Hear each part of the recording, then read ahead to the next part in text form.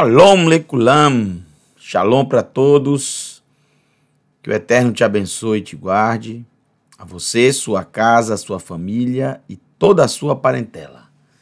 É o que eu desejo para todo o povo da Tchuvá espalhado pela face da terra. Vamos dar continuidade ao estudo do maravilhoso livro Sefer Rizayon, livro de revelação, livro de Apocalipse. Hoje nós estudaremos o capítulo 12. Desde já, eu peço do fundo do coração que você abra sua mente, abra o seu coração para o eterno, para que você possa aprender os detalhes, as pérolas escondidas por, de, por detrás de tantos sinais, por detrás de tantos. É, por detrás de tantos símbolos, isso que eu quis dizer, não sinais, símbolos, tantos símbolos, tantas linguagens figuradas, tanta simbologia do livro de Apocalipse que aflora bastante nesse capítulo 12. Esse capítulo 12, é, por causa de alguns trechos dele, várias teorias religiosas foram desenvolvidas. Várias vários mitos, inclusive. Muitos deles por não observar o que realmente o texto quer dizer, o que realmente significa a linguagem profética. A linguagem profética não é uma linguagem simples. Existem quatro níveis, quatro níveis de estudo da escritura sagrada. O Pechá, que é o simples, o Remes, que é o, o Remes, que é mais avançado, pois trata de parábola, e a parábola não é algo simples, não é o que está escrito que você deve entender. Você tem que, que, que, perceber, em meio às coisas esquisitas que aparecem numa parábola, sem sentido até alguma delas, o que é que a mensagem que traz, o significado que traz, o enigma que traz. A terceira, mais avançada, é a drachá, que envolvem justamente o que estamos estudando, que são profecias. Veja, é o terceiro nível mais avançado de estudo. E por último, o Sod, que é justamente o, o que está realmente por trás das letras, o, o que está em segredo, os selos. Aí envolve a gematria, envolve a sequência de letras equidistantes e outras coisas. O nível de revelação, sem dúvida, é o terceiro. Drachá é um, um, nível avançado. Então, profecia é algo muito complexo, que depende de muitas coisas se juntarem, se ligarem, até nós termos um panorama, pelo menos uma, um, um panorama que possamos entender.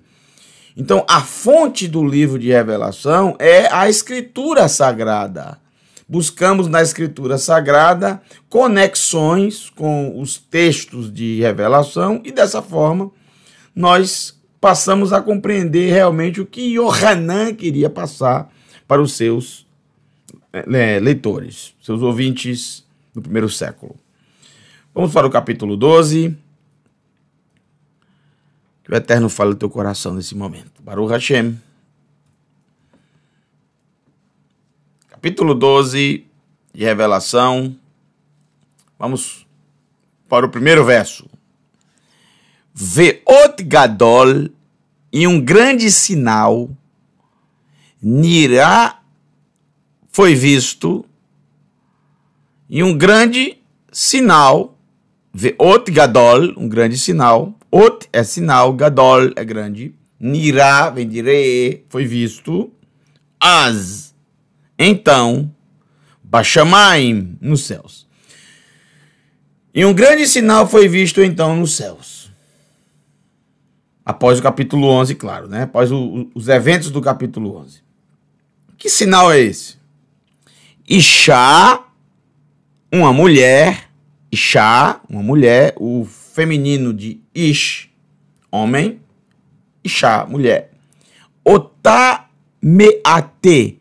vestida, coberta, são palavras da mesma raiz, vestir-se, cobrir, coberta, vestida, vestida, coberta de shemesh, sol. Vestida, coberta de sol. O levaná tahat ragleia. E a branca estava debaixo dos seus pés, ou dos pés dela, que está no feminino, debaixo do pé da mulher. Ela era vestida com o sol, e debaixo dos seus pés estava a branca. Que branca? Levaná. Em hebraico, levaná é o feminino de lavan. Lavan é branco. Levaná, branca. Branca é uma levaná é uma forma carinhosa, uma forma carinhosa de se dirigir também à lua. Por que, que a gente, é, a gente é, é, traduz como lua aqui? Eu coloquei aqui branca e coloquei entre aspas, porque eu traduzi exatamente o que está aqui escrito. A palavra lua em hebraico é Yareach, Yareach, lua. Mas, mas é, levanar é uma das formas carinhosas de chamar a branquinha da noite, a branca da noite, a lua. Por que, que chamam ela de branca? Porque nem sabemos se a cor da lua realmente é branca, mas a questão é que é, ela aparece no momento em que tudo está escuro. Então, qualquer ponto de luz que houver, por menor que seja, a, a, a visão é, é, é, é de algo branco. Pode ser até cinza, mas a, gente, a, a mente, o olho humano vê branco. Como também as estrelas, nós vemos elas brancas. Os pontinhos de luz brancas. Então, aqui foi, foi usado uma, uma forma carinhosa para a lua. E subentende-se que é lua porque trata de sol, trata de estrelas e trata dos céus. Obviamente que só pode ser a lua aqui. Uma mulher vestida com o sol, o sol está sobre, é, está cobrindo ela, ela, ela é coberta com o sol. O sol simboliza a luz. O sol governa o período da luz. E a lua governa o período da escuridão. Só que nesse, nessa visão, a escuridão, representada pela lua, que governa o período das trevas, o período da escuridão, está debaixo dos seus pés. É um símbolo. A escuridão está debaixo dos pés dela. Ela se cobre com a luz, se veste com a luz e coloca o período de escuridão debaixo dos seus pés. Muito interessante. Ve'al Roshá, Roshá, Roshá é o feminino de Rosh. Rosh, cabeça, liderança. Roshá, cabeça da mulher, cabeça feminina. A mesma palavra, só que no feminino. Ve'al Roshá Yatzitz. Yatzitz. E, e, e sobre a sua cabeça florescia, Yatzitz, florescia, Nezer, uma, uma tiara, não é uma coroa, é como uma coroa, mas como uma coroa de flores. Por isso que tem o, o, o a palavra yatzir, yatzitz, perdão, yatzitz. Yatzitz é florescer, e florescia. Nezer, uma tiara. A palavra coroa em hebraico vai aparecer no capítulo 12, verso 3, daqui a pouco. É a palavra keter. Keter, coroa. Nezer, uma tiara. Florescia uma tiara. Shneim Asar, Kohavim, de 12 estrelas. Tudo muito simbólico e significativo. Quem é essa mulher? Nós já vamos mostrar quem é essa mulher através de um texto ou de textos dos profetas. Vou ler para vocês alguns e vocês vão ver a forte ligação com esse texto de revelação. Na verdade, é uma citação de textos dos profetas. E claramente vamos ver quem é essa essa essa mulher. mulher é essa que possui, que floresce sobre a sua cabeça, sobre a sua liderança, doze estrelas. O número 12, em qualquer lugar da Escritura, não tem outro significado que não seja as doze tribos de Israel. Até quando você me diz, e os doze discípulos? Até os doze discípulos simbolizam as doze tribos de Israel, sem dúvida nenhuma. A nova Jerusalém, por exemplo, a nova Jerusalém, que descerá do céu, da parte do eterno, toda preparada, que já está pronta, ela vai descer com doze portões. E cada um dos seus portões é uma das tribos de Israel. E na base, na base de cada um desses portões, uma pedra preciosa, que são doze pedras preciosas, gravado com o nome de um dos Talmidim de Yeshua, um dos discípulos de Yeshua, atrelado, cada um deles, a uma tribo de Israel. Isso quer dizer que o número 12, em qualquer parte da Escritura, sempre simbolizará as 12 tribos de Israel. As estrelas são as tribos.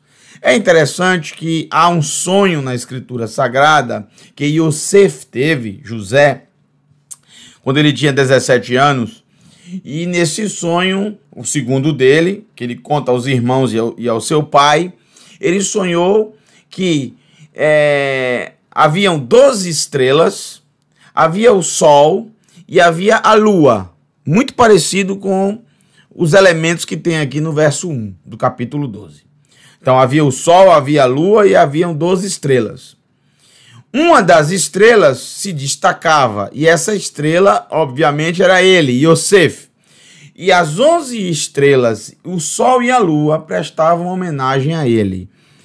Então, é interessante que tudo isso é muito simbólico, como também aqui é muito simbólico. Essas 12 estrelas representam as 12 tribos de Israel. Então, quem é essa mulher? Essa mulher é uma instituição religiosa? Não, claro que não. Essa mulher é a mãe, a mãe de, de Yeshua? é a mãe de Yeshua, mas não no sentido da sua mãe é, natural, e sim a nação que, que, que fez ele, ele, ele, ele vir. A nação da qual ele saiu, a nação da qual ele, ele brotou. A nação de Israel. Como os profetas claramente colocam, eu vou mostrar isso para vocês já já.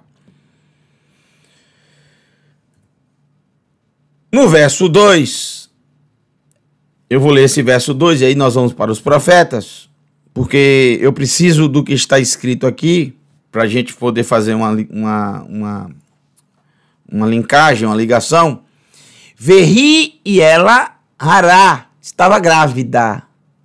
Latat ao, ao, ao tempo, latat ao tempo, ao tempo ou ao ponto e obviamente à luz, né? Tá grávida e já chegando ao seu tempo, ao, ao momento de dar à luz. Vatzak, Vatzak, Vatzak e gritava, sacar, gritar, e gritava, Bachalaveia nas suas dores. Dores de parto. Essa palavra aqui em hebraico é muito interessante, gente. Essa palavra, a raiz dela é het, bet e lamed. Essa é a palavra. O resto, o yud e o o yud aqui denota plural. O re é uma flexão feminina bela. E o bet é uma preposição. Revel em hebraico ao pé da letra quer dizer corda, amarrar, prender. E é dessa palavra que vem, revel, é dessa palavra que vem justamente o termo dor de parto, que é justamente a dor que a mulher sente como se uma corda estivesse sendo amarrada ao seu ventre e com um nó muito apertado. Se você pegar uma corda e amarrar em qualquer parte do seu corpo, no braço, na perna, e apertar, a dor é insuportável, obviamente. Esse é o sentido. É uma dor terrível, que vai apertando, apertando, apertando. A dor do parto não é uma dor apenas física. Toda mulher sabe que não é apenas física, é principalmente psicológica. Essa é talvez, não sei se, não posso dizer porque nunca senti, mas em muitos, na maioria das vezes, soma-se as duas e aí se tem a dor do parto como uma proporção muito grande. Na verdade, não, não só é essa dor tomou uma proporção grande por causa da dor psicológica também. Que dor é essa psicológica? É a angústia. É uma angústia que você não sabe o que é que vai acontecer. É uma agonia, é uma incerteza, é um momento muito difícil. Gente, não importa a época da humanidade, mesmo hoje, nos dias que temos é, tanta é, evolução na ciência, tantos cuidados que a ciência desenvolveu para esse momento tão importante, né, que é o nascimento, mas todo o acompanhamento que se tem ao longo de nove meses, o que não existia antigamente, mas mesmo assim, é, nada afastou das mulheres essa dor. Porque, primeiramente, eu digo, é uma dor psicológica que não, não é somente no momento do parto, mas principalmente é, os momentos que antecedem a ele. As incertezas, a mulher não sabe se vai dar tudo certo. Ela não sabe se os médicos, os profissionais vão realmente fazer a coisa correta, se der algo errado. E se der algum problema? E se meu filho morrer? Né? E se acontecer alguma, alguma coisa? É um momento muito complicado.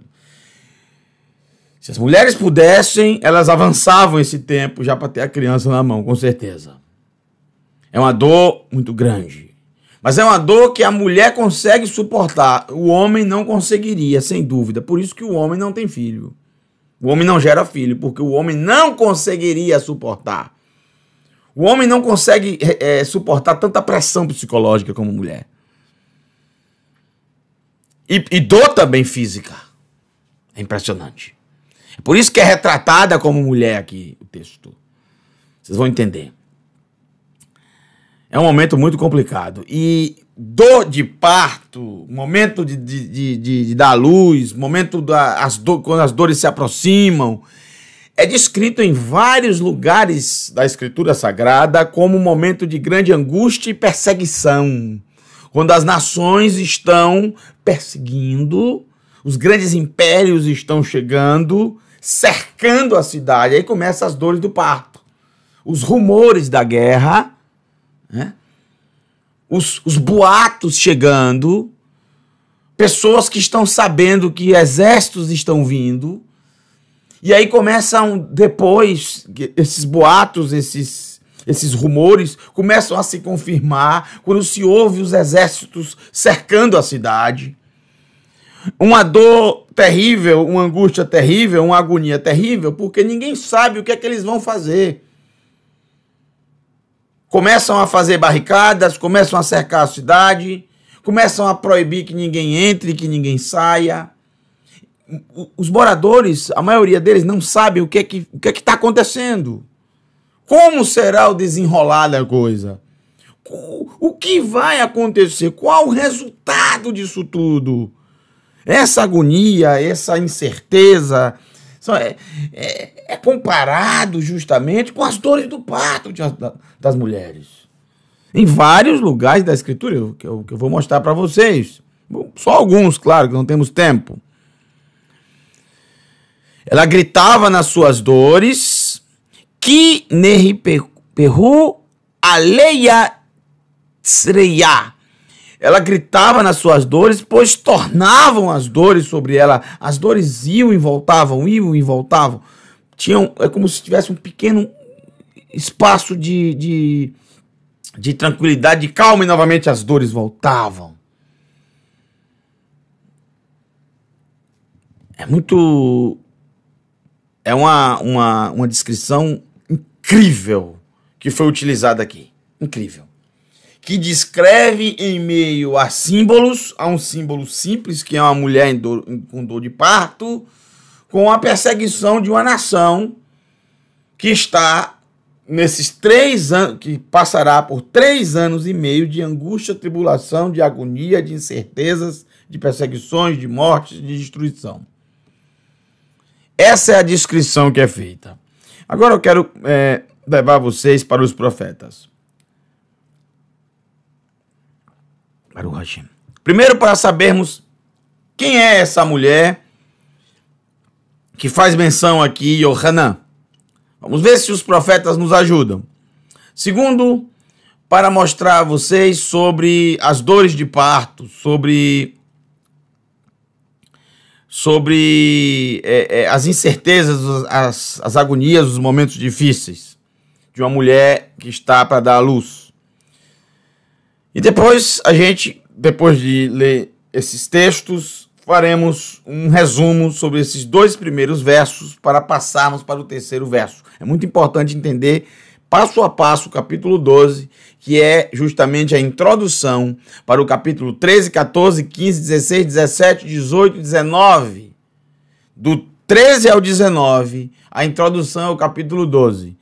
Se você entende o capítulo 12, não há como não entender os demais capítulos com uma certa facilidade.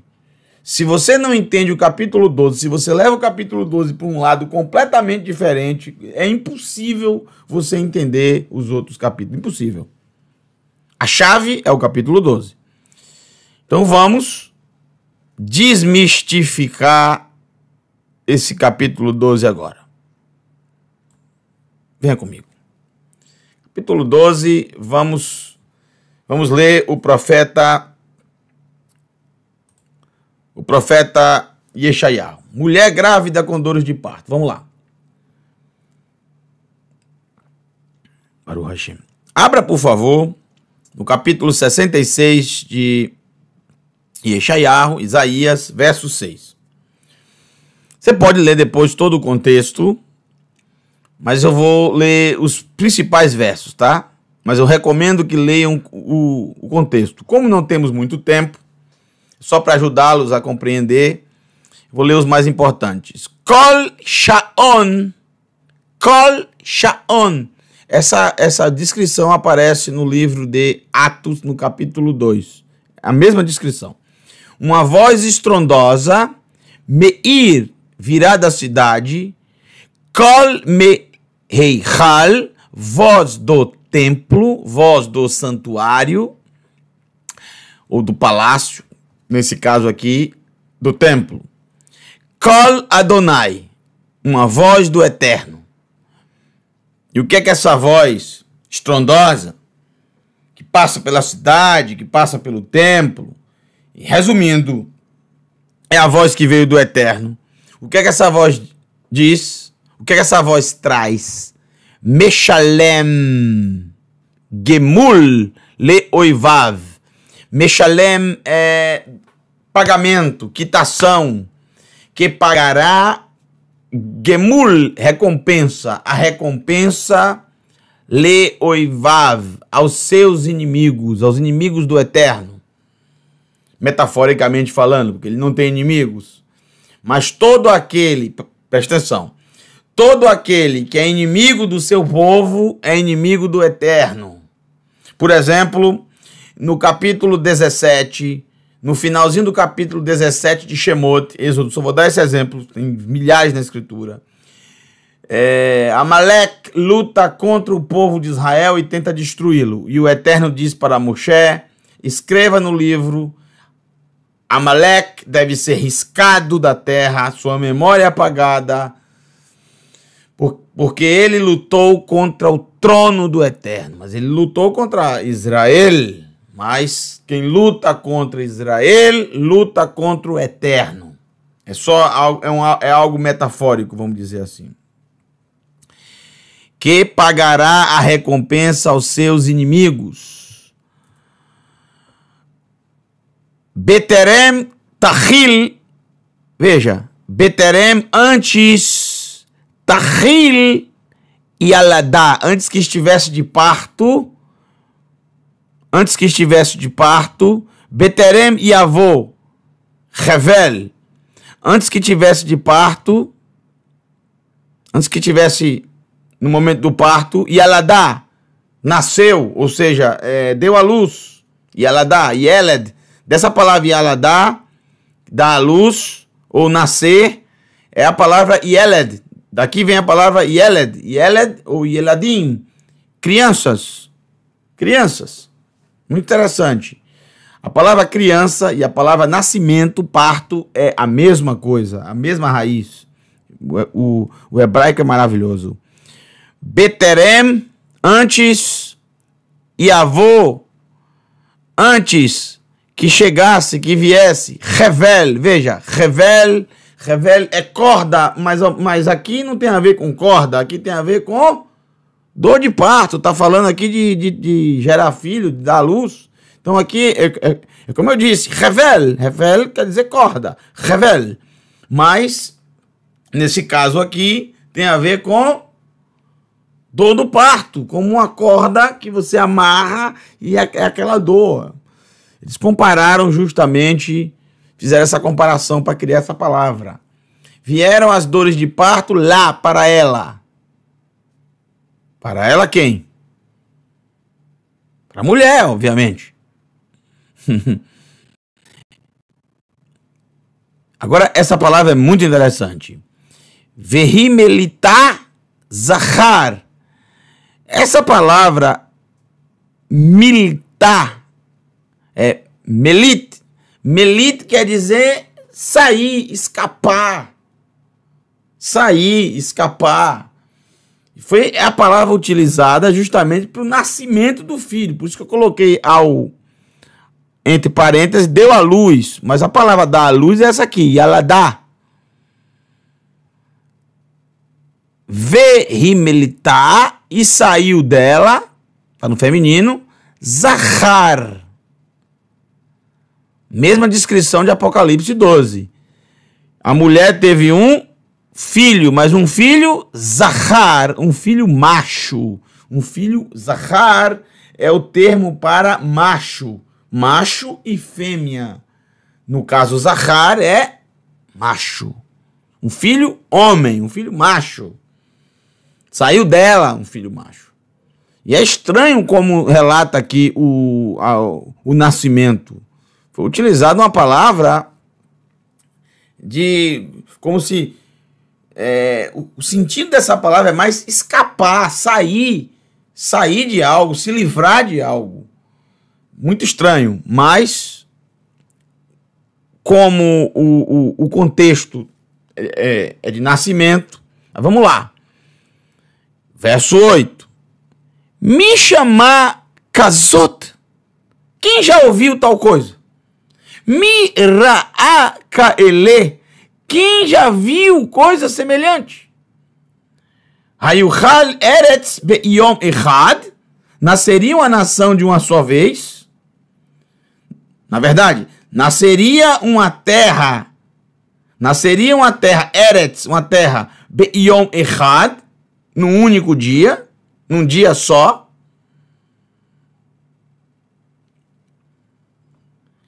Im Yavaled Goi Pa'am Echat, nasceria uma nação de uma vez só, que que halá, pois com dor, Gam Yalda, Tzion, et Baneia, pois Condor também deu à luz Sion aos seus filhos. Então, quem é essa mulher? Sion, ou seja, Sion, ou seja, a nação de Israel, que também é chamada. A palavra Sion, Sião, é uma palavra que depende do contexto. Quando vem Hatzion, Monte Sião, é o monte. Quando vem apenas Sion, pode ser duas coisas menos o monte. Porque quando é o monte, aparece a palavra monte. Sião também é a nação de Israel. E Sião também pode ser Jerusalém. Qual das duas aqui Baruch Hashem. Mais abaixo, inclusive, fala sobre Jerusalém. Mas qual das duas aqui se refere?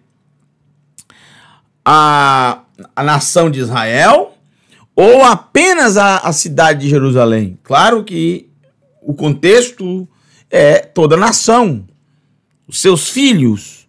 Mas há a descrição de um filho macho no, no singular e depois de filhos no plural, os filhos dela. Seria esse filho o Mashiach? Seria esse filho o rei que governará e o seu reino não terá fim? E os seus outros filhos têm a ver com as doze estrelas? As doze tribos? Outro texto falando sobre mulher grávida. Vamos lá. De forma metafórica. Capítulo 26, verso 17 de Yeshayahu. Que morrará takriv laledet tachil tzek Isaac, mesma coisa que aparece lá em Revelação, né? Como a mulher grávida, quando se aproxima o seu tempo, tem dores de parto e dá gritos. Tzak, mesma coisa de revelação, mesmos termos.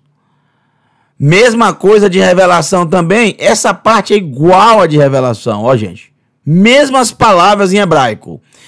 Tizak Barravaleia, mesma coisa. Mesma coisa. Barravaleia. Barravaleia é revela aqui no meio aqui é, é a, a, a dor do parto, né? Tem a ver com a palavra corda. E dava gritos e gritava nas suas dores. Quem Ainu mipanecha Adonai. Assim fomos nós pela tua face, por causa da tua face, Adonai, ó Eterno. Do que é está falando o texto? Perseguição dos babilônicos. Assim também como no capítulo 4, verso 10 de Michá, é, Miqueias, Michá 10, 4. Leia todo o contexto. Leia todo o contexto de Michá, capítulo 4. Leia o contexto de Eixaiarro também depois. Estude com calma, leia todo, que aí você vai adentrar na história dos profetas e, vão, e vai entender o momento difícil que o povo passava com a perseguição dos babilônicos. Michá, capítulo 4, verso 10 diz: Veja. Ruli vagorri bat Sion, sofre dores e trabalhos, ó filha de Sião, como como a que está de parto, porque agora sairás da cidade e morarás no campo e virás até Bavel. Então, um momento de muita aflição, como dores.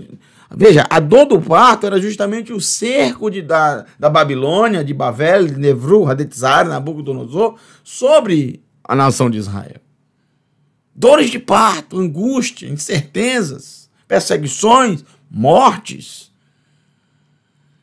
A promessa é que Sham, ali em Bavel, e Galer Adonai Mikaf Oivair, Oivair. Ali Adonai te redimirá da palma Kaf. Kaf é palma, ou colher também, né? Hoje em dia é colher também. Palma do quê? Palma da mão. Dos teus inimigos ou daqueles que te odeiam os babilônicos.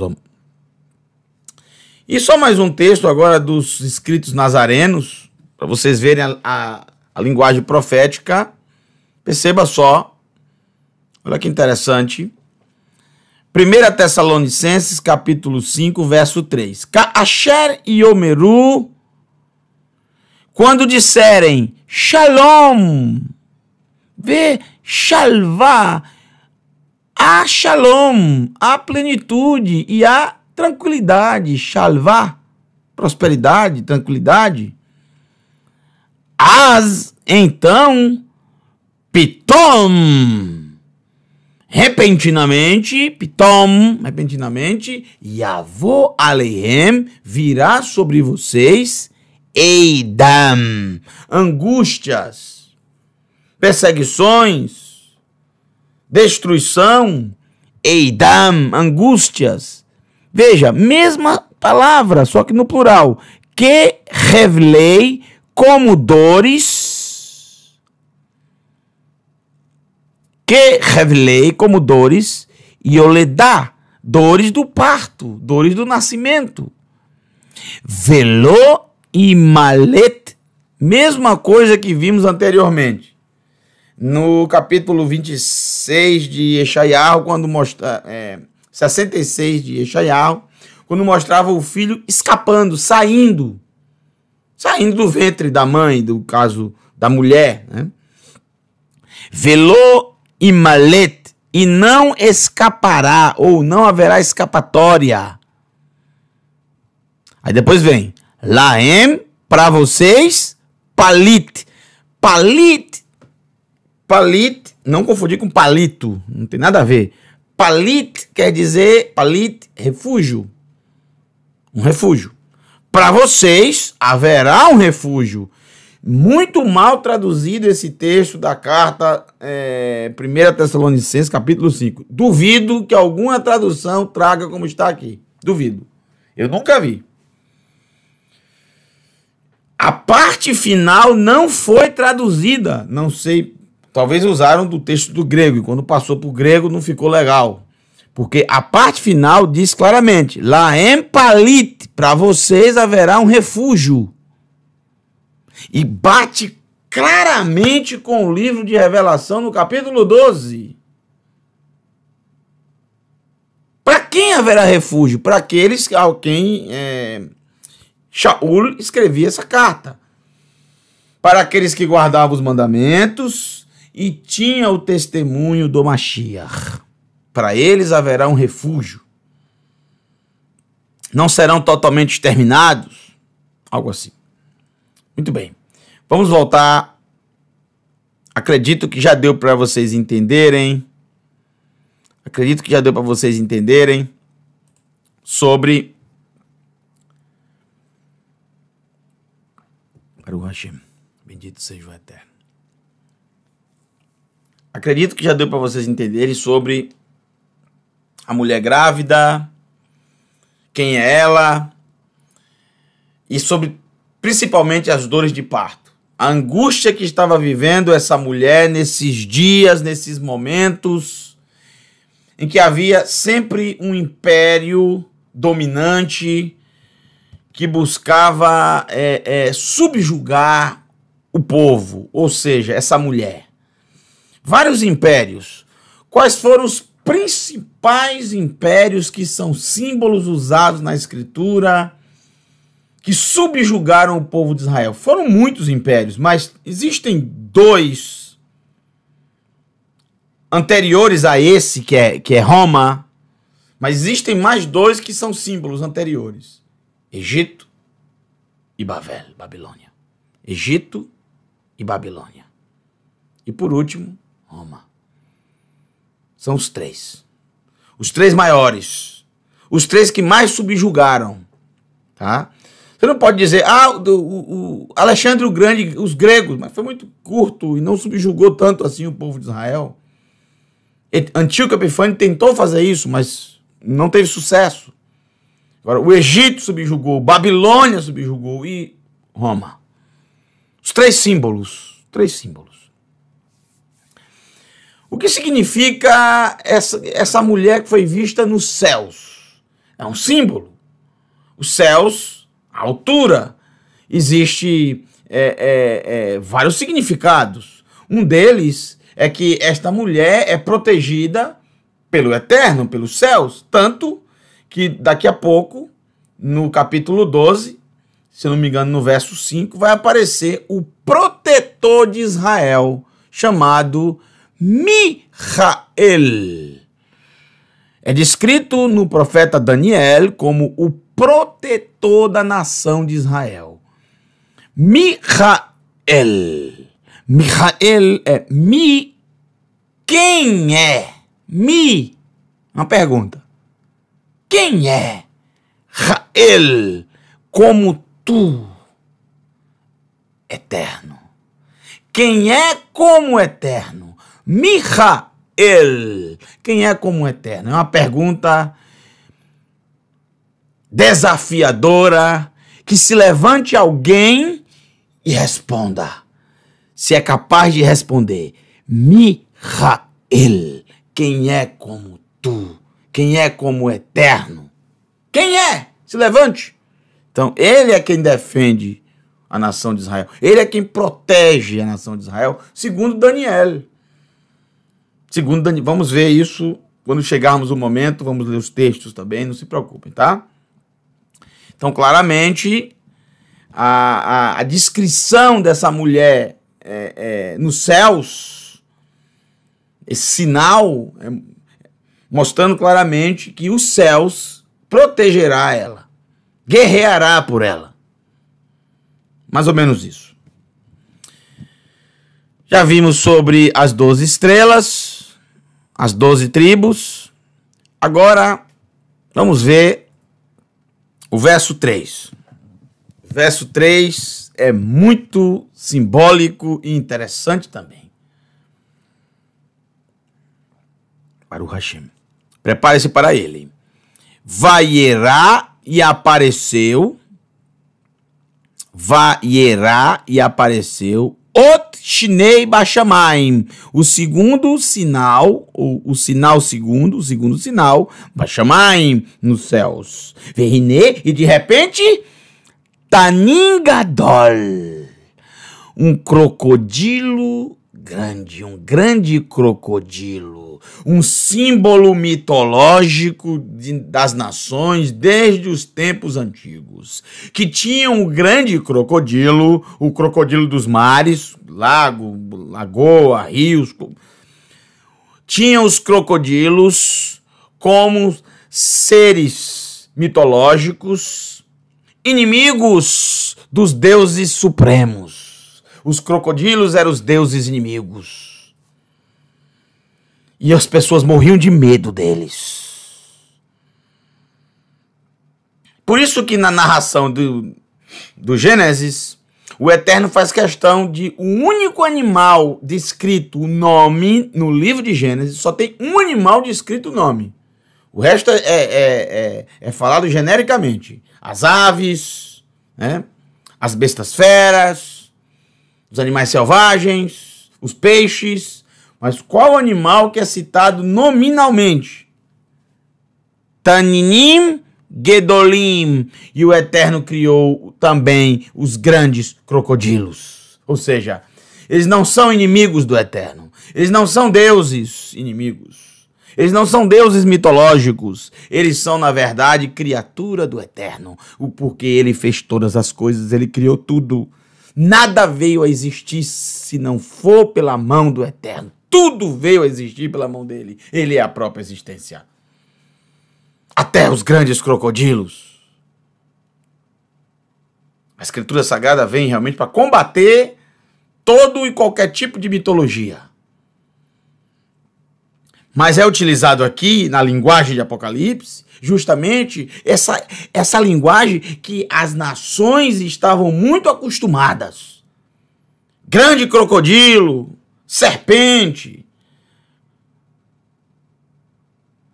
uma, um, uma besta-fera selvagem, sete cabeças, dez chifres.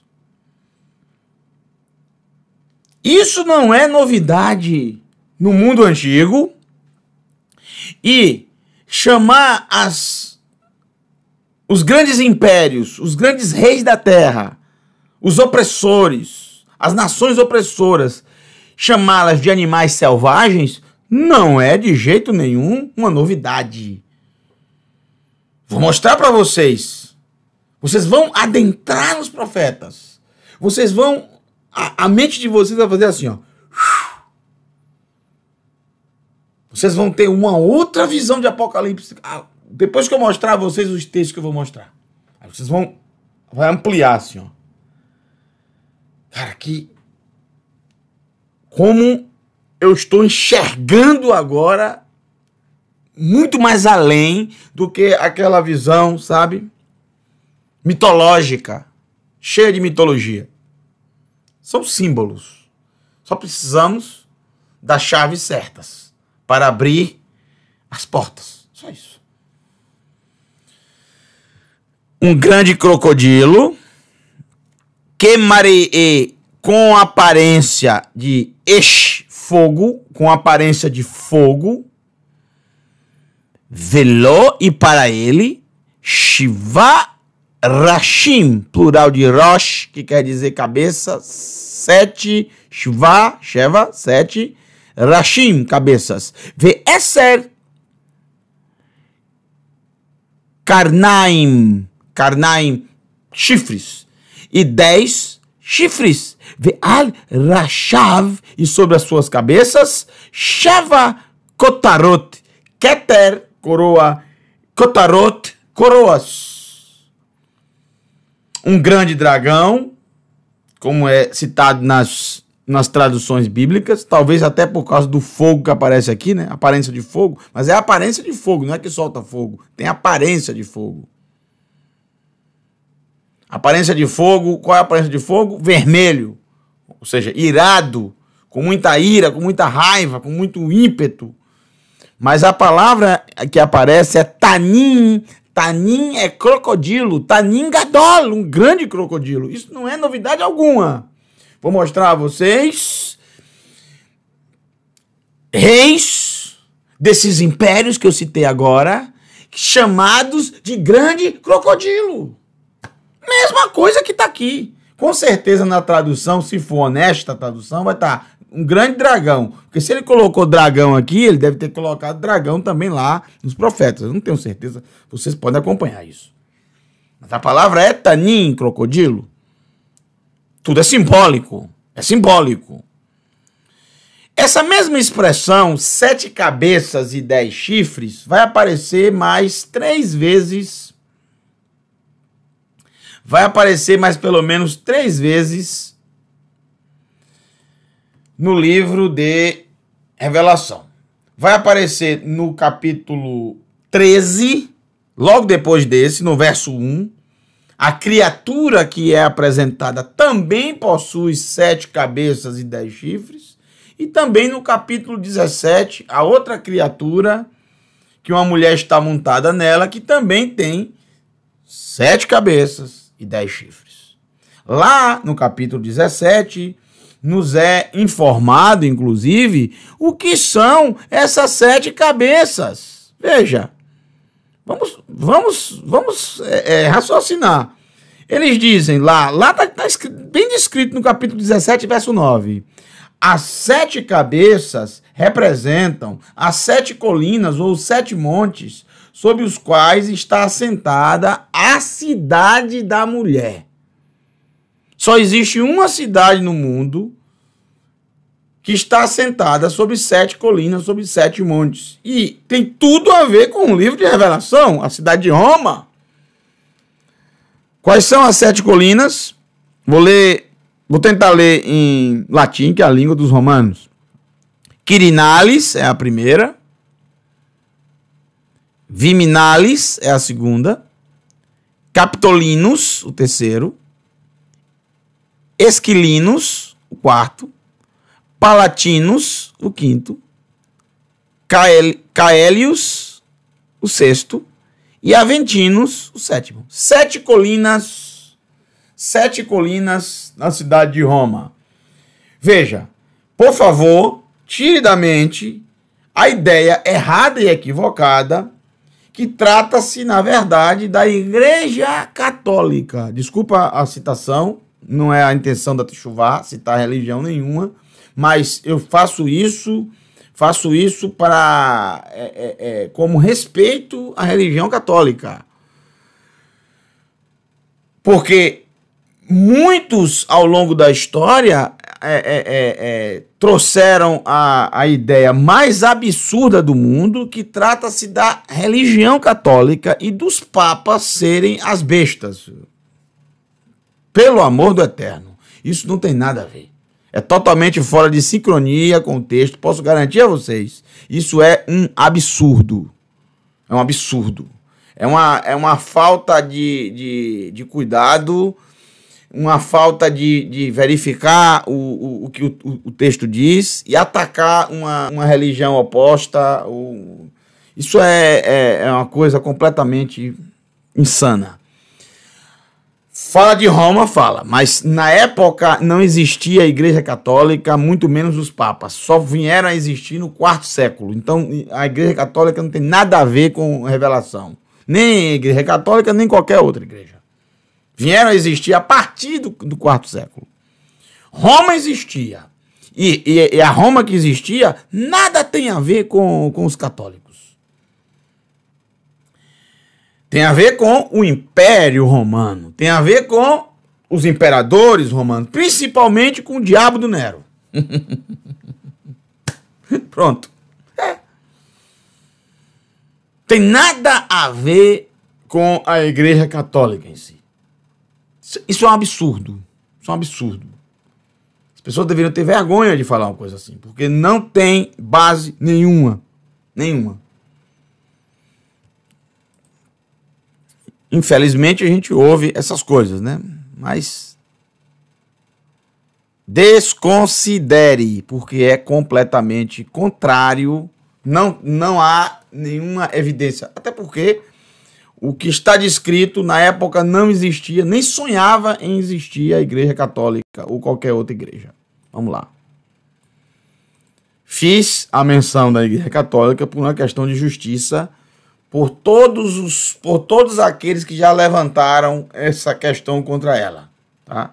Não estou defendendo a Igreja Católica, não, não defendemos nenhum tipo de instituição religiosa, mas aqui nós estamos defendendo a verdade, tá? Verdade. E lutamos totalmente contra qualquer tipo de injustiça. Acho injusto, totalmente injusto, acho tenho certeza é, é, é, levantar essas questões. Pobreza, pobreza na hora de é, interpretar um texto. Totalmente pobre. Totalmente fora da, da realidade. Fora do, dos profetas, dos escritos, fora da, da, da, é, é, da questão tempo, histórica, tudo isso. Vamos lá. Desculpem essa, essa manifestação, mas creio ser é, bastante oportuna para o momento. Até pra, já para tirar essa, essa ideia errada desde aqui não precisar voltar isso depois, né? Desde aqui já tiramos essa coisa da cabeça. Muita gente tem. Talvez você até tinha também. Tá me ouvindo? Vamos lá. As sete cabeças, no próprio livro de Revelação, já fala que são os sete montes. Representam os sete montes. Ora, claramente, esse, esse grande dragão tem a ver com Roma. Tem a ver com o império. Tem a ver com o império, com reis, que são as dez cabeças, os dez chifres, perdão, os dez chifres. Não é à toa terem Sheva, Sheva, Kotarot, sete sobre, a, sobre as suas cabeças sete coroas, porque além dos, dos sete montes, em outra parte de Apocalipse, vai dizer que trata-se também de sete reis, e vamos chegar lá, não vamos falar disso agora. Vou mostrar a vocês os imperadores até chegar no sétimo, que é exatamente o que vamos ver no capítulo 13. Quem é ele? Tá? Vocês vão ver claramente aquele que ficou por pouco tempo. Vamos ver também quem é ele, não vou falar agora para não estragar a surpresa. Então, tudo é muito simbólico e tudo tem a ver com o império que dominava na época e que trazia angústia total ao povo, aos filhos dessa mulher. Que culminou com a destruição praticamente da cidade de Jerusalém, do templo e dos seus palácios no ano 70. Em um cerco de três anos e meio, ou 42 meses, ou 1.260 dias, como vai aparecer também nesse capítulo 12. Eu quero que, que vocês vejam uma comparação da escritura com os impérios dominantes, sempre utilizando figuras de linguagem, atribuindo animais selvagens. Vamos lá. Midrash nos profetas. Comparação nos profetas dos impérios dominantes igual animal selvagens. Animais selvagens. Para o Hashem. O que eu quero mostrar é que não é algo inventado por Yohanan. Não é algo de apocalipse apenas. Os profetas já faziam isso. Os profetas já o próprio Eterno utilizava a linguagem do povo, porque o povo sempre ouviu que os, os inimigos das nações, as nações com seus reis, com seus exércitos, a literatura dessas nações era justamente essa. O rei, por isso que o povo de Israel queria ter rei de qualquer jeito. O rei, sempre, sempre descrito nas pinturas das nações como um homem valente, imenso, grande, com espadas, com lanças na mão, guerreiros.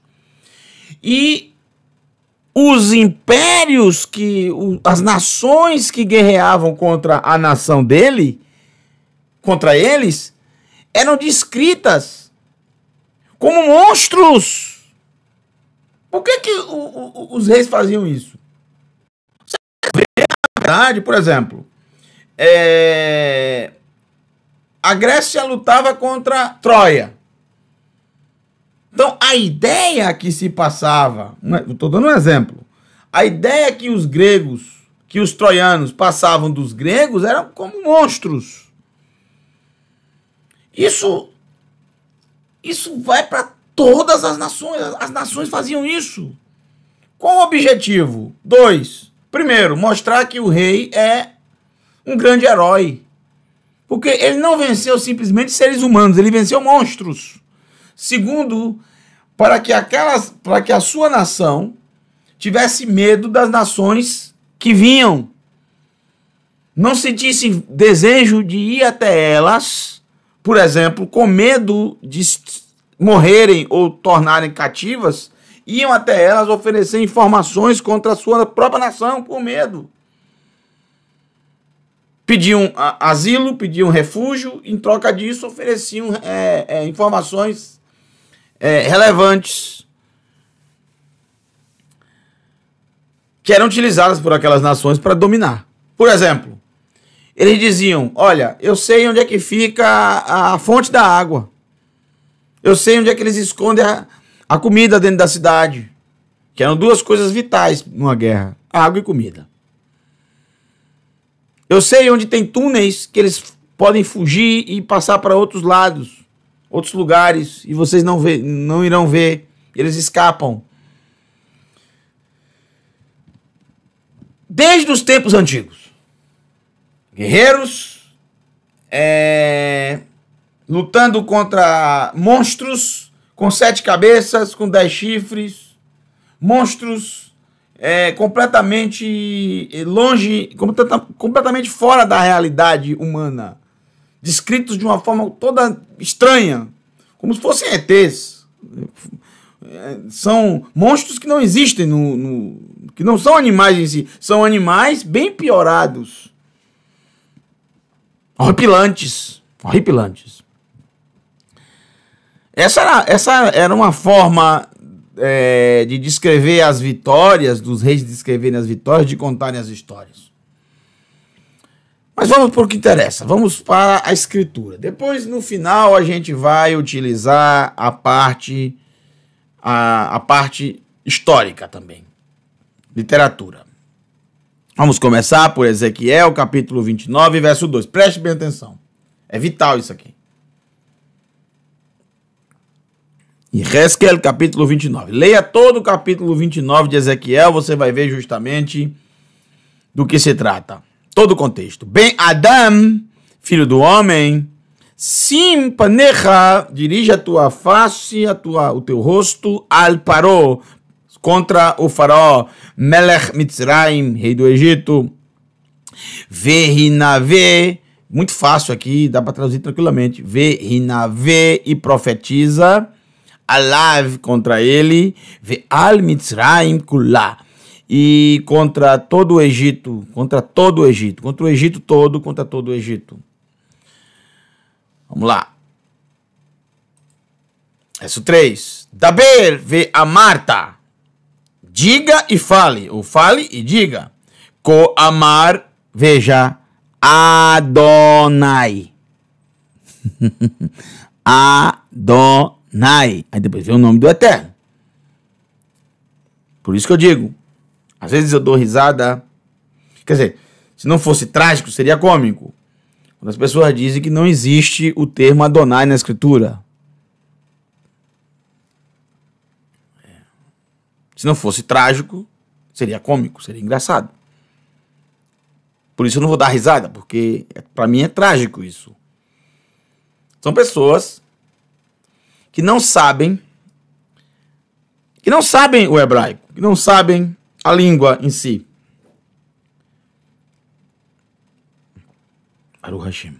Aí ouvem de alguém que diz determinadas coisas e tem como verdade. Co-amar Adonai o Eterno. Se você somar aqui todas as oito consoantes, tanto de Adonai como do nome do Eterno, dá 91, que é a palavra Amém. Literalmente Amém. Aleph, Men e Nun, dá 91 também. O Elohim é rei fiel. Co-amar Adonai, o Eterno. Rineni, estou pronto, estou aqui. Aleja, Paró, estou aqui contra você, Faraó. Melech Mitzrayim, preste bem atenção. Ratanim Hagadol, o grande crocodilo. Você, grande crocodilo. Se vocês pegarem a mesma tradução que em Apocalipse traz como grande dragão, aqui também deve estar nas Bíblias, nas traduções, grande dragão. Que se ele traduziu de uma forma aqui, ele vai traduzir também de outra forma lá. Para ser justo, ele tem que fazer isso. É a mesma expressão. A diferença é que aqui o isso é um, um, um Existem esses, esses errinhos na escritura. Aqui, em vez de ser um num sufite, é um mem sufite, mas é a mesma palavra. Mesma palavra. Crocodilo.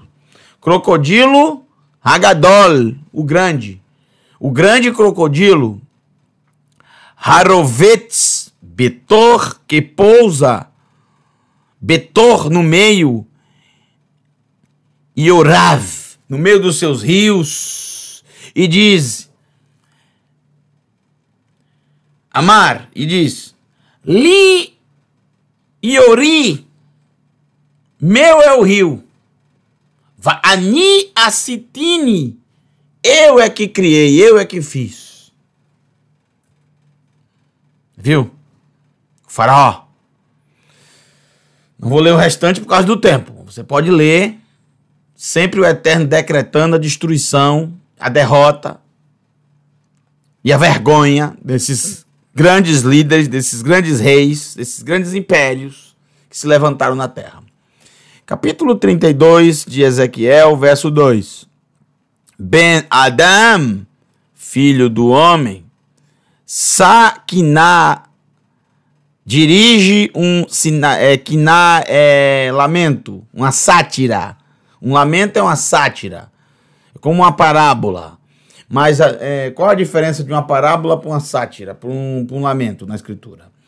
Qual a diferença é, de uma parábola para um, um, uma lamentação? A, a, a, grande diferença é que a lamentação é cheia de símbolos também como a, como a parábola, mas é muito sarcástica. Tem muito sarcasmo nela, por isso que é chamado lamento ou sátira. Tem muito sarcasmo. Veja só, filho do homem, levanta a lamentação contra o, rei, o faraó, rei do Egito, e diz: semelhante eras a um leão jovem das nações. Um leão jovem. E tu eras como um crocodilo nos mares, e ferias os teus rios, e turbavas as águas com os teus pés, e sujava os teus rios. Um claro, uma, um, um claro sarcasmo quando na verdade o rio foi transformado em sangue na época do Egito, quando Moshe, é, para justamente é, é, trazer juízo contra os deuses egípcios. Mas veja, o, o, o faraó é chamado crocodilo nos mares. Né? Yamim, crocodilo nos mares. Então, a figura do. O que o Eterno faz aqui é utilizar a linguagem que as nações utilizavam para os inimigos. A linguagem que os egípcios utilizavam para os inimigos. Que os babilônicos utilizavam para os inimigos. Como monstros. Tudo. Por isso que é uma sátira. É, um, é algo. É, é, vamos dizer assim. É, há muito sarcasmo nisso também. Mas é a linguagem que as pessoas estavam acostumadas. Veja, por exemplo, agora Irmeiarro, Jeremias, capítulo 51, verso 34. Olha só, preste atenção, porque você vai utilizar esse capítulo, não vou voltar mais nele, você tem que lembrar dele, porque vocês vão ver que esse grande crocodilo, ele quer engolir, ele quer comer o filho daquela mulher que está para nascer. Hum? Olha só. E aqui vocês vão ver como o, o texto é descrito tanto na terceira pessoa como na primeira pessoa. Ahalano nos devorou. Ramamano nos destruiu. Ramamani, agora aqui é na primeira pessoa. Terceira pessoa, primeira pessoa. Ramamani. Ramamano nos destruiu, nos despedaçou. Ramamani me despedaçou. Nos despedaçou, me despedaçou, me destruiu. Quem? Nevruhadetzar. Nabucodonosor. Melech Bavel, rei de Bavel. Já que já é outro império dominante. Hitzigano, Hitzigano, Hitzigani, nos engoliu, nos engoliu, me engolindo, como um catanim, como um crocodilo. Ou se você quiser, como um dragão, mas aqui é, é crocodilo. Aqui deve estar dragão nas traduções. Como um crocodilo. Milá querechô me adanani me adananai, perdão, me adananai. Encheu o seu estômago das minhas delícias. Tudo que ele levou, né? De, de, de utensílios do templo as pessoas que que ele levou cativas. Redihano, Redihano, Redihani, Redihano, Redihani, nos lançou fora, me lançou fora. Nos lançou fora, me lançou fora. Quem está falando aqui? Tanto na segunda, tanto na terceira pessoa, nós, como na primeira pessoa, eu. Pra gente pensar, né? Mas lembre-se de. O, o importante aqui não é bem. Eu não, eu não vou é, é, é, interpretar esse texto para vocês, porque a única coisa que eu quero fazer aqui é que, é que vocês percebam como o, o, o, o rei de Babel o rei de um grande império dominante, é comparado a um crocodilo. Entenderam isso? Assim como o rei do Egito.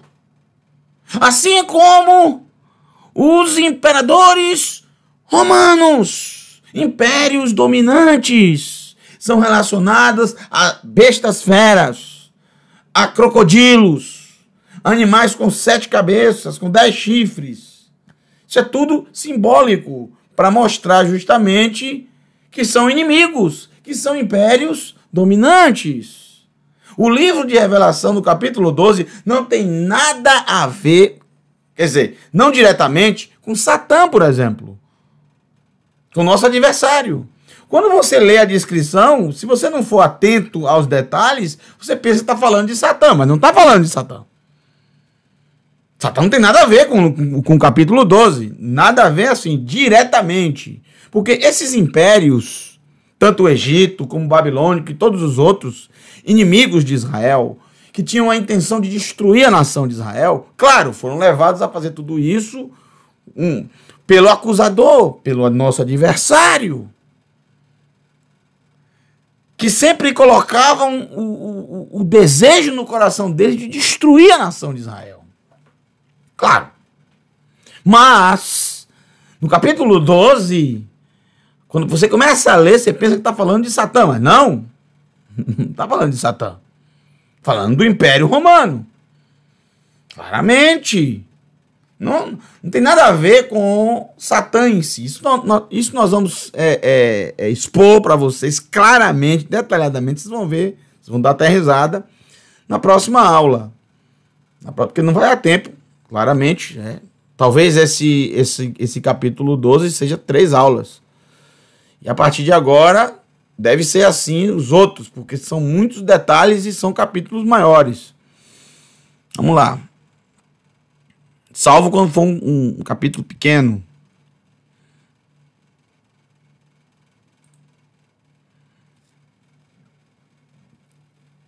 Verso 35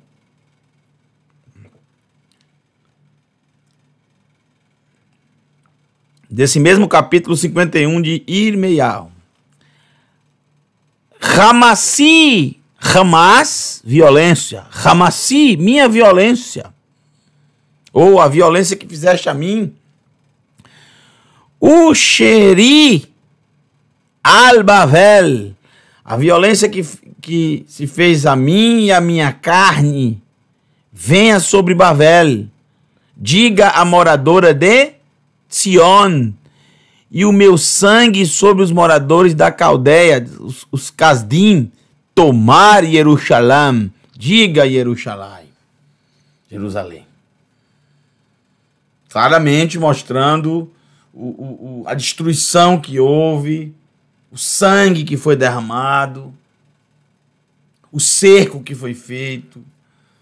Então, esses grandes impérios, quando, quando avançam contra a nação de Israel para devorar, entre aspas, para destruir, são descritos como animais selvagens, como o crocodilo, por exemplo. O grande crocodilo. Assim também foram os romanos quando montaram cerco entre o ano 66 e o ano 70. Vamos lá. Tem mais alguma coisa aqui sobre isso? 36 ainda. Capítulo 51, verso 36 de Irmeial. Lahenko amar Adonai. Hineni rav et river. Eis que pleitearei, pleitearei a tua causa e te vingarei da vingança que se tomou contra você. Secarei o seu mar e farei que se esgote o seu manancial. O mar de quem? O manancial de quem? Do grande crocodilo, da besta fera chamada Nefru de Tsar, Nabucodonosor. Muito interessante que nesse capítulo 12 de Apocalipse, no final, vai aparecer também um outro ser muito utilizado na mitologia dos povos antigos, Nahash, uma serpente que vomita da sua boca um rio e o objetivo disso era, era tragar, era afogar a, a mulher e o seu filho. Mas de repente, aquele rio se secou, porque a terra se abriu e engoliu o rio, salvando dessa forma a mulher e o seu filho. Muito interessante porque aparece essa descrição aqui no profeta Irmeiarro, Jeremias. Mas isso vai ficar para depois, tá?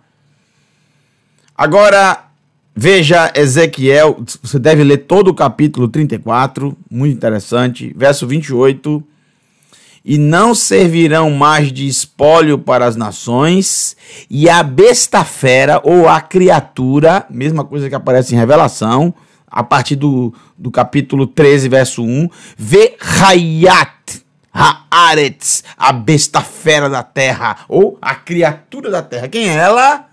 Nevru Hadetzar. Aqui é ele, é o império dominante, a Babilônia. Mas em Apocalipse, não está falando desse império dominante. Está falando de outra Babel, de outra Babilônia. Romit, Roma.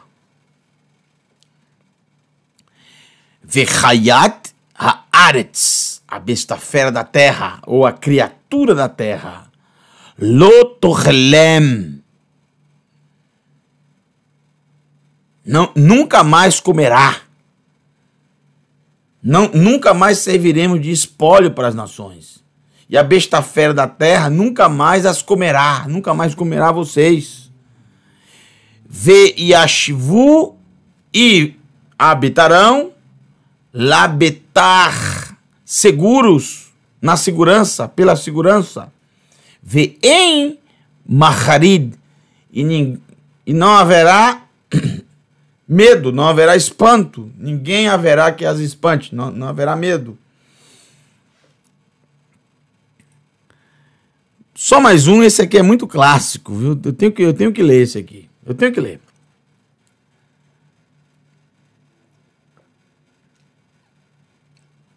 Baruch Hashem. Capítulo 27 de Eshayahu, verso 1. Aqui aparece o Eterno lutando contra todos os seres mitológicos das nações. Todos. Veja. Yom Rahu e Fepod Adonai. Naquele dia o Eterno punirá. Beharbo. Na sua espada. Hakashá. Dura. A dura. Ve Hagdolá. A grande. Ve Hazaká. A forte. Hazaká. Hazak forte a Leviatã, sobre o Leviatã, Leviatã. Leviatã é baleia em hebraico. Você coloca, no, se você quiser no Google, já vai aparecer. Você coloca Leviatã, vai aparecer baleia. Leviatã, baleia. Porém, nos tempos antigos, o Leviatã era considerado e descrito pelas pessoas como um animal do mar, imenso, imenso, forte. Isso pode ser uma, ser uma baleia? Pode. Mas a, a, a criatividade da, dos povos no passado sobre isso era algo sensacional, incrível. Por isso, muitos pensam ser o Leviatã, um, por exemplo, um dinossauro extinto, que tinha poder, inclusive, de soltar fogo da sua, da sua boca, né? Como o besouro bombardeiro, por exemplo, né? Que tem, essa, que tem esse mecanismo que produz um tipo de explosão, né? Bom, mas aqui não trata em si do que é e do que não é o Leviatã, e sim do que as pessoas pensavam ser o Leviatã. Como também a Nahash Bariar, a, a serpente que foge, a fugitiva, ou é, é bariar é que foge, a, a veloz, a serpente veloz, vê a Leviatã novamente e contra o Leviatã, novamente, repete a palavra Leviatã. Será que é outro tipo de Leviatã? Nahash, Akalaton, a Calaton é tortuosa. É, é, é. Vou mostrar a vocês essa Calaton é, numa, numa imagem do Museu do Cairo, como as pessoas imaginavam. Ve harag. Todas essas aqui o Eterno punirá duramente com a sua espada grande e forte. Agora, essa última aqui, o Eterno matará. Veja, ve harag et hatanim e matará o crocodilo Asher Bayam, que está no mar. Lembrando que mar aqui não é só mar salgado, oceano, aqui pode ser qualquer tipo de ajuntamento de águas, inclusive rios, lagos, lagoas, tá? Como Yam Hamelach, o mar do sal, que é na verdade está a 432 metros abaixo do nível do mar, não pode ser, um, não pode ser mar. Como o mar da Galileia, que está a 230 metros abaixo do nível do mar, não pode ser mar, é, é, é um lago um lago, Kinneret, um lago, com as águas do Iardém, do Jordão, assim também como o Mar Morto, que também são águas do Rio Jordão, já no final. Bom, o que eu mostrei a vocês aqui, em todos esses textos, é como essas figuras mitológicas, é, é, é, é fazendo uma, uma comparação entre pessoas e animais selvagens, animais, animais monstros. Isso sempre esteve na literatura antiga. Sempre foram considerados os inimigos como monstros, animais mitológicos. Agora, eu quero mostrar para vocês não só isso, mas eu quero mostrar para vocês agora, fora da escritura sagrada, eu vou trazer enciclopédia para você aqui agora. A metáfora da besta na cultura antiga. Preste atenção. Vamos lá, vou colocar na tela para vocês. Tudo entre aspas, tá, gente? Nos mitos de combate, nos mitos de combate, de guerra, o antagonista é frequentemente quem, o que é antagonista, para quem não sabe? O, aquele que está contrário. Aquele que você está lutando contra. Nos mitos de combate, o antagonista é frequentemente retratado como um monstro, serpente ou dragão. Entre esses monstros antigos, de múltiplas cabeças, olha só, olha só, não sou eu, não. Isso aqui é enciclopédia. Entre esses monstros antigos de múltiplas cabeças, citam-se a Hidra vencida por Hércules e Iolam. Iolam, seu primo, seu sobrinho. Na mitologia grega. O monstro tipo dragão derrotado por Ninurta na mitologia suméria. Olha só, o Leviatã, veja, Leviatã, acabamos de ver. Acabamos de ver essa palavra. Também da mitologia suméria, uma das mais antigas civilizações, retratado no cilindro de Tel Asmar. Vou mostrar para vocês esse cilindro. Calma. Vou mostrar para vocês. Fotos de museus e há ainda a chamada paleta de Narmer, que emprega a figura de um monstro de sete cabeças. Peraí, rapaz, como é o negócio? Que. Tinha nem visto isso. Que emprega a figura de um monstro. É brincadeira, eu tinha visto sim. que emprega a figura de um monstro de sete cabeças para retratar um rei inimigo do Alto Egito. Tá vendo? Alto Egito é a, o faraó e os seus, né? E a parte baixa, você sabe, né? Até chegar aos escravos. A pirâmide. Consta que um dos grandes feitos de Hércules foi derrotar a Hidra. Em alguns, em alguns, é, algumas literaturas dizem sete e outras dizem nove cabeças. No, o importante é que tinha mais de uma cabeça no que contou com a ajuda de seu sobrinho, sobrinho, é sobrinho, Iolan. Cada cabeça, cortada pelo herói, voltava a crescer, até que Iolan entrou na batalha e tratava de cauterizar com fogo o lugar da cabeça cortada, né? Com isso, Hércules conseguiu vencer o monstro cabeça após cabeça. Essa narrativa já existia por volta do século do sexto século, antes da era comum, antes do primeiro século. Antes do primeiro século, antes do momento em que foi escrito o livro de Apocalipse, 600 anos antes, já existia essa narrativa aqui de Hércules, da Hidra, das cabeças. Vamos lá. Consta.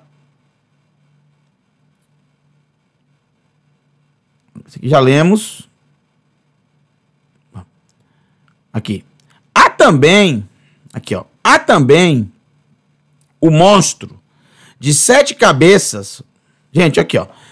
Há também o monstro de sete cabeças destruído pelo herói, que na verdade era um deus, Ninurta. A chamada Ninurta e o Dragão de Sete Cabeças é uma arte em embutimento que vem do período sumério, um dos mais antigos que existem. Olha só. Anterior, cerca de 2.800 a 2.600 antes da Era Comum. Caramba. Mais de 4.600 anos atrás. antiguíssimo. Um monstro de sete cabeças. Que é retratado como um dragão aqui, tá vendo? Está no Museu das Terras Bíblicas em Jerusalém. Vou mostrar isso a vocês. Representa o rei Ninurta em luta contra um monstro de sete cabeças. Ninurta era um lutador e guerreiro, e seus instrumentos incluíam arco, flechas e espada. Quem é esse Ninurta? Nimrod. Ninurta é Nimrod. Era a, a forma como falava, como falavam, como ficou após a, a, a divisão da Torre de Babel, a, as línguas. Daqui que vem a cidade Ninus, a cidade de Nimrod. Ninurta é ele, Nimrod, o grande guerreiro, o arqueiro o grande caçador, o herói. Muito antigo. Muito antigo. Esta criatura mitológica pode ser a versão suméria da hidra grega. Deveria ser o contrário o texto, viu, querido? Contrário. Se isso é muito mais antigo, se o, a Hidra grega é, é 600 anos antes da Era Comum, e esse aqui é 2.600, 2.800 a 2.600 anos antes, então, na verdade, é o seguinte, é, a Hidra grega é uma versão do que já existia pelos sumérios. Os sumérios, como descreve, você vê, esse Ninurta aparece, por exemplo, é, sendo adorado pelas pessoas, e o sol em cima dele, e ele sendo considerado Deus Sol. Em outras em outros em outras pinturas aparece isso, em, em outras é, é, inscrições, melhor dizendo. Bom, aqui a paleta de Narmer, Museu do Cairo. Aqui, inclusive, aparece até o, o, a localização onde está essa, essa essa paleta. São duas. E descreve aqui justamente é, uma guerra, colocando o faraó, você vê, gigante, imenso, com seu cetro na mão. E aqui ele derrotando um monstro aqui, cheio de cabeças, tá vendo aqui? Do lado de cá aparece justamente é, o que eu falei para vocês das as serpentes tortuosas é, e dois guerreiros aqui amarrando-as, tá vendo? Amarrando as suas cabeças para contê-las. Próximo. Ótimo. Aqui nós temos Hércules e Iolan derrotando a Hidra. Aqui está a fonte, o código de acesso, tá? e, e mostra aqui Hércules é, cortando as cabeças da Hidra e o seu sobrinho cauterizando com fogo as cabeças que eram cortadas, porque se não fizesse isso, as cabeças voltavam a voltavam a a nascer. Perceba que apesar dos livros citarem dragão, você percebe que é muito parecido com um crocodilo, tá vendo? Olha a cauda aqui, ó. Tá vendo? Com várias cabeças. Bom, agora vamos para cá. Esse é um dos mais é o mais antigo citado, tá? Olha aqui, ó. Ninurta. Ninurta Nimrod. Olha ele aqui, o Nimrod, tá vendo aqui? O guerreiro, o herói, lutando contra um monstro de uma, duas, três, quatro, cinco, seis, sete cabeças. É incrível. Museu das Terras Bíblicas em Jerusalém. Lutando contra o monstro de sete. Aqui parece que ele já está é, destruindo a primeira cabeça. Há na sua mão aqui algum tipo de instrumento algum tipo de arma aqui, não dá para descrever o que é direito. Essa essa essa inscrição está muito bem, muito bem preservada pela, pelo tempo que existe. Há uma fenda aqui nela, tá vendo? Aqui, ó. Há uma fenda aqui, mas ela está muito bem preservada. Muito bem. Há uma fenda aqui e um, e um furo aqui nela, ó. Aqui também na ponta. Mas muito bem preservada.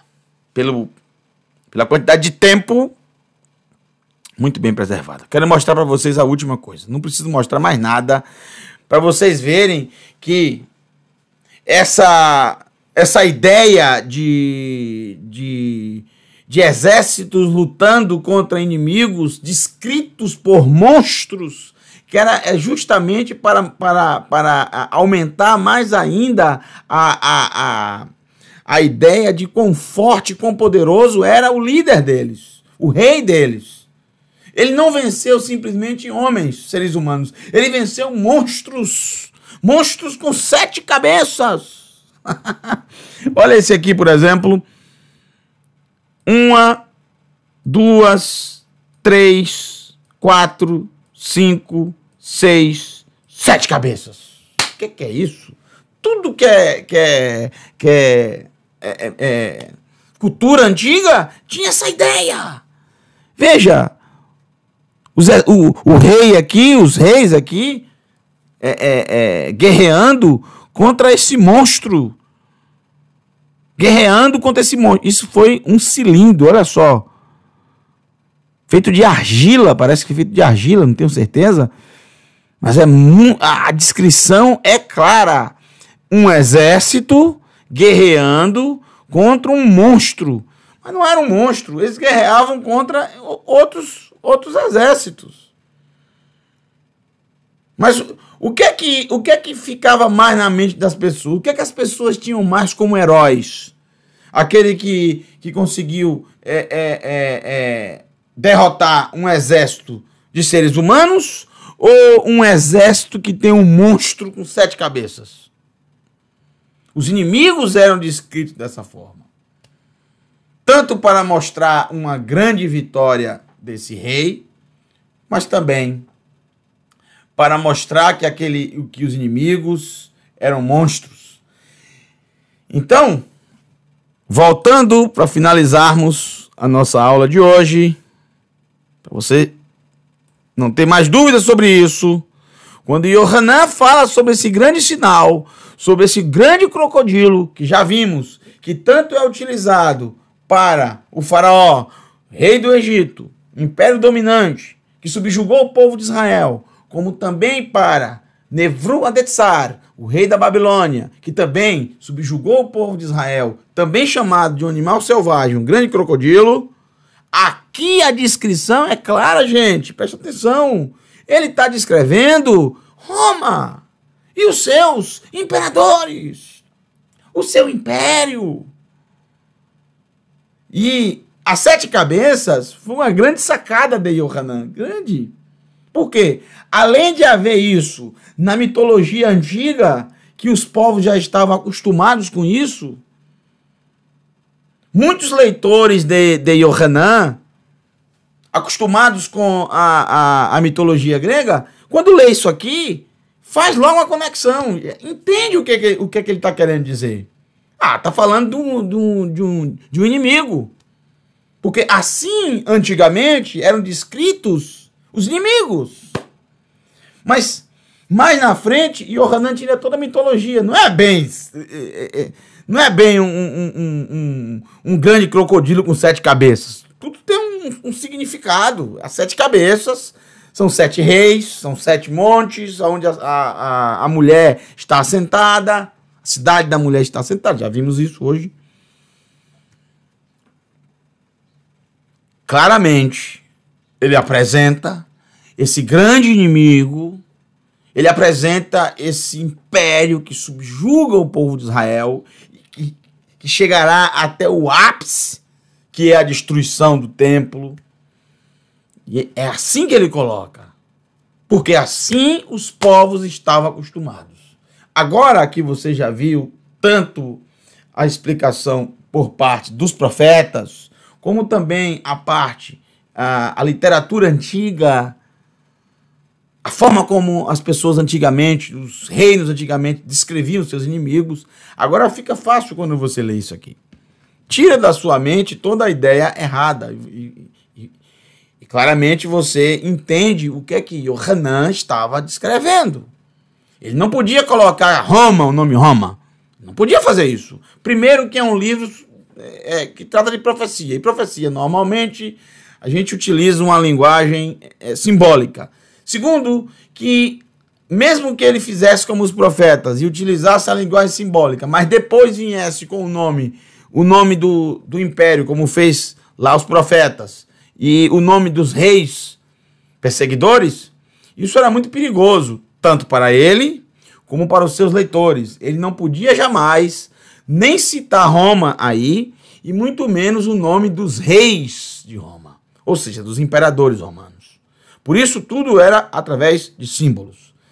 Mas ele vai, logo, logo, no próximo capítulo 13, citar já quem é esse rei, e todo mundo vai saber, né? Obviamente, quando, porque está com todos os detalhes bem amarrados. Bom, nós iremos parar aqui no verso 3 na próxima aula, nós iremos para o verso 4, tá, gente? Próxima aula, vamos explicar para vocês detalhadamente o que está no verso 4 em diante. Verso 4. Esses três primeiros capítulos é a chave para todo o capítulo 12. E, e, todo o capítulo 12 é a chave para os demais seis capítulos para frente. Então, os três primeiros capítulos são mais demorados de, de, explicar. Agora que vocês já têm o entendimento, fica muito mais fácil eu discorrer com vocês por todos os outros versos, sem precisar me ater para explicar detalhadamente cada tema. Por quê? Porque agora vocês já entenderam. Já entenderam o motivo de ser de ter a questão do crocodilo, é, as bestas feras, as cabeças, os chifres e por aí vai. Próxima aula, se o Eterno assim nos permitir, nós continuaremos o estudo do livro de Apocalipse, capítulo 12. Desejo a todos vocês, Laila Tov, uma boa noite, que o Eterno te abençoe e te guarde. A você, sua casa, sua família e toda a sua parentela. Um beijo a todos. Shalom. Baruch Hashem. Abençoado seja o Eterno.